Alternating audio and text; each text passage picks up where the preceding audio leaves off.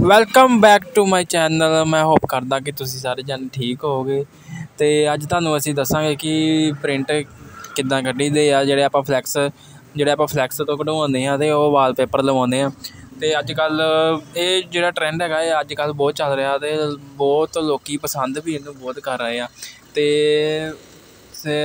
ਇਹ ਬਹੁਤ ਵਧੀਆ ਵੀ, ਬਹੁਤ ਵਧੀਆ ਵੀ ਲੱਗਦੀ ਹੈ।